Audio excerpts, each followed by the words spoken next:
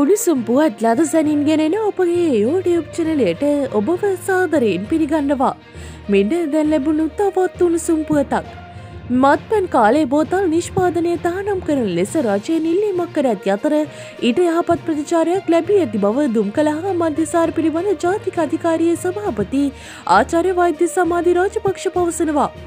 දුම් කළහා මධ්‍යසාර පිළිබඳ අධිකාරය සිදු කළ සමීක්ෂණයකදී ඊට සහභාගී වූ පුද්ගලයන්ගෙන් සියට හැත්ත දෙක ප්‍රමාණයක් මත්පැන් කාලි බෝතලය තහනම් කළ යුතු බවට මතය පල කළ බෞද්ධ සභාපතිවරයා පවසන අතර මත්පැන් හා දුම්වැඩි සම්බන්ධය සිදු කළ මෙම සමීක්ෂණයට වයසකාණ්ඩ තුනක් ඇටතේ මෙම සමීක්ෂණය සිදු කර තිබෙනවා.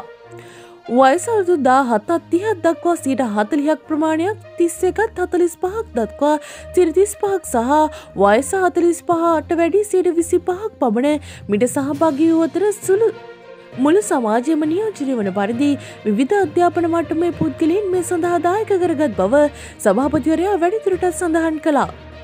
මෙවැනි උණුසුම් පුවත් ලද සැනින් දැන ගැනීම සඳහා අපගේ YouTube චනලය සබස්ක්‍රයිබ් කර බෙල්ලයිකනය ක්‍රියාත්මක කරන්න.